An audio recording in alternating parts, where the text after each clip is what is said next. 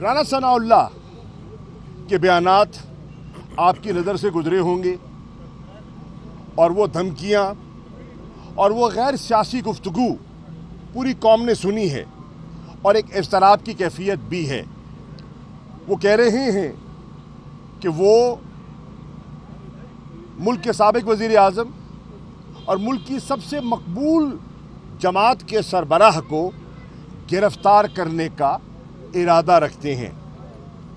तहरीक इंसाफ की core committee समझती है, इससे बड़ी सियासी हिमाकत हो नहीं सकती।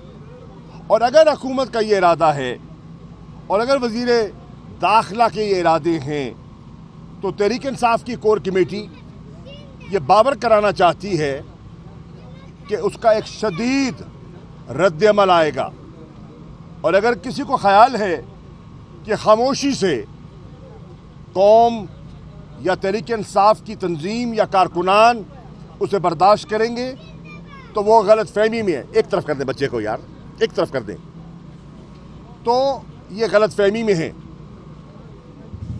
तहरीक इंसाफ की कोर कमेटी ने ये फैसला किया है कि हमारे कारकुनान जो आज कोर कमेटी की आवाज़ सुन रहे हैं, उन्हें इतला दी जा रही है कि अगर मीडिया के ज़रिए या उनको इतलात सोशल मीडिया के ज़रिए मिले कि ऐसी हरकत, ये इम्पोर्टेड हुकूमत मुसलत करदा हुकूमत करने का इरादा रखती है तो आपने अपना रद्द अमल फिल फॉर देना है। आपको कोई मैसेज की ज़रूरत नहीं है, आपको कोई व्हाट्सएप नहीं आएगा और आपको कोई टेलीफोन नहीं आएगा।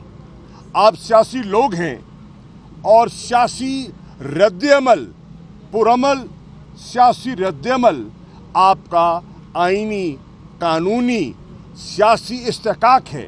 चुनाचे, आप अभी से उसके लिए मनसूबाबंदी, सफ़बंदी कर लीजिए ताकि अगर ऐसी हिमाकत और ऐसी नादान हरकत, ये गैर सियासी सोच रखने वाली हुकूमत अगर करती है तो तहरीक इंसाफ और पाकिस्तान के आवाम जो आज महँगाई की चक्की में पिस रहे हैं, वो अपना माफ़ी ज़मीर वाज तौर पर बयान कर सकें।